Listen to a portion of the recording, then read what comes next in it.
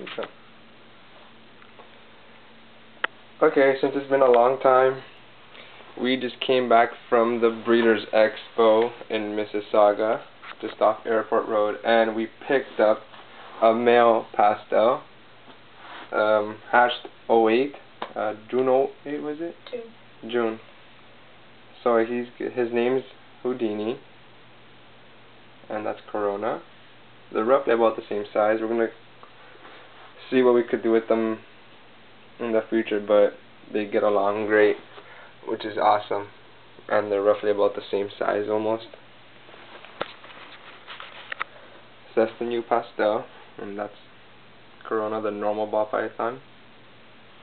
Needs to go on a diet. who has to go on a diet, yes. She's getting pretty thick, so we're gonna cut her down a bit.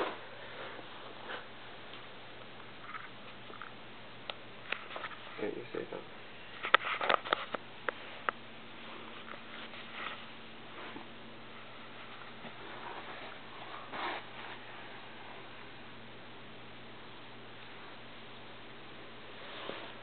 They've been getting along pretty well.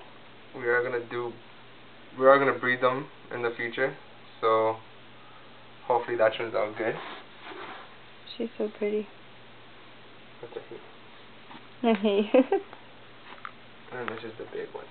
I think she's a little bigger, but She's a little fat, but doesn't really matter. they're this pr- roughly the same length. It's Over just time, Corona's a roughly little the same size.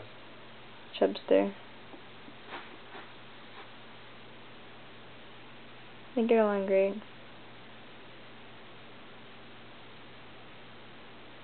And we got him for a good deal too.